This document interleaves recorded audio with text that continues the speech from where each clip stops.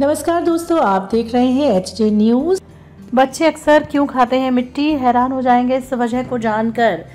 छोटे बच्चों को अक्सर आपने चौक मिट्टी, यहाँ तक कि दीवार में लगी पेंट की खुरचन खाते देखा होगा। कई बार कहने के बाद भी बच्चे इस आदत को नहीं छोड़ पाते। क्या आपको पता है कि बच्चे आखिर मिट्टी और चौक क्यों खाते हैं?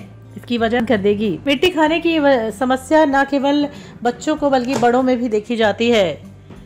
हालाँकि ये समस्या सात साल के बच्चों में ज़्यादा होती है। दरअसल बच्चों में कुछ विशेष प्रकार के पौष्टिक तत्वों जैसे आयरन जिंक की कमी के हो जाती है। इस वजह से मिट्टी खाने की इच्छा उन्हें होती है। छोटे बच्चों में मिट्टी खाना खून की कमी की निशानी है। इसका कारण बच्चों की खुराक में सिर्फ़ दूध का होना हो सकता है। हर चीज़ में दूध का मिश्रण होने से बच्चे में खून की कमी आ जाती है। बच्चों की खुराक में अनाज, सब्ज़ियाँ, दाल ज़रूर होनी चाहिए। उनकी कमी होने से ये दिक्कत हो सकती है।